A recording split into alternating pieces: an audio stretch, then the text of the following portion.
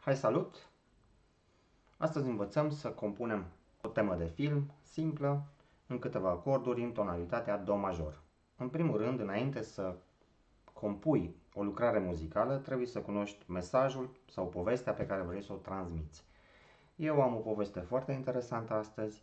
Să presupunem că ne aflăm în anul 1905, în castelul Sant'Angelo din Roma, unde în timpul unui concert un mascalțone violonist se îndrăgostește de fata cea mică a regelui. Aici intervenim cu partea întâi din compoziția noastră.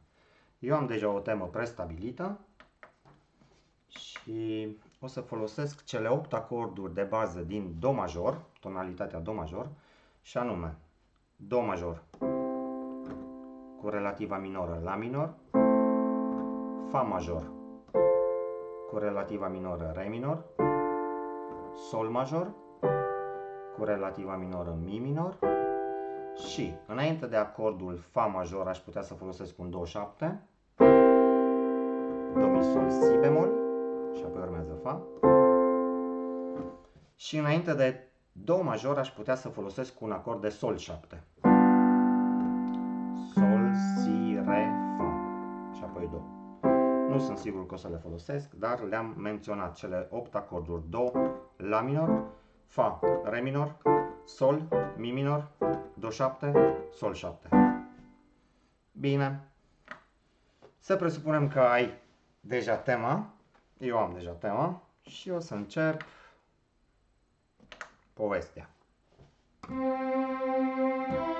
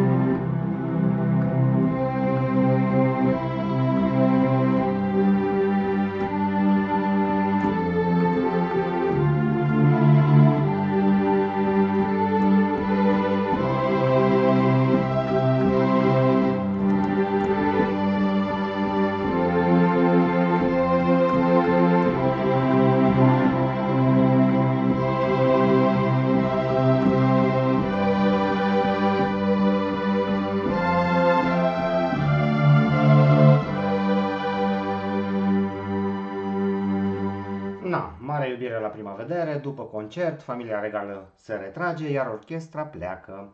Mai puțin muzicianul vieții care se strecoară pe lângă gărzi și începe să urce pe scările interioare înspre camera prințesei. Aici vom interveni cu partea a doua din compoziția noastră, tot în do major.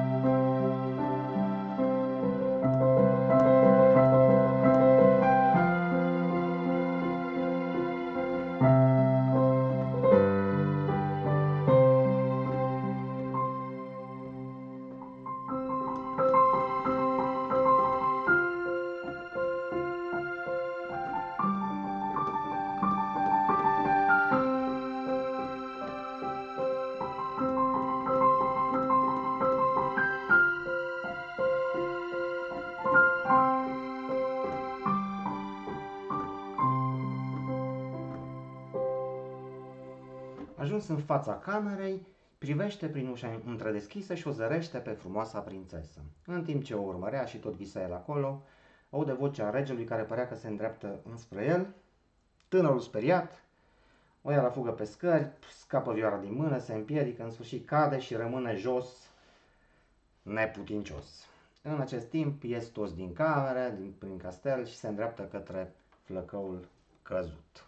Aici vom folosi o temă de compasiune oarecum și o tonalitate minoră. O să mergem în La minor, relativa minoră la tonalității Do major.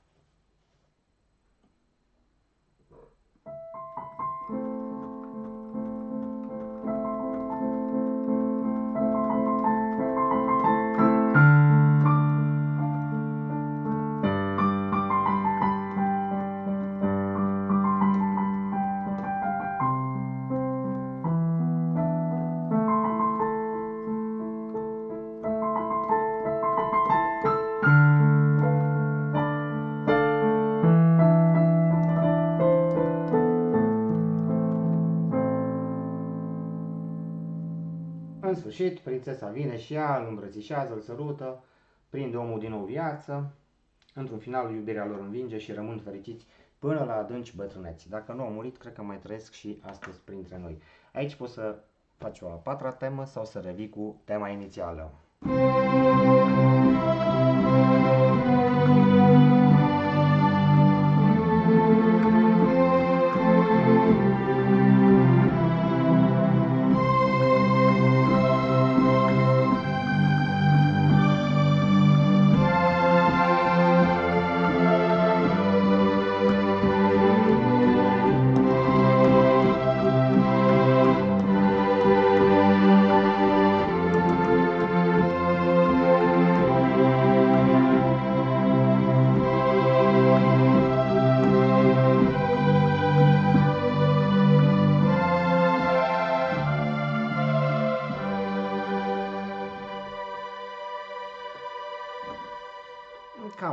pentru astăzi. Mai pune și tu niște instrumente pe acolo, înregistrează și să vezi că sună mult mai frumos ca la mine. Spor!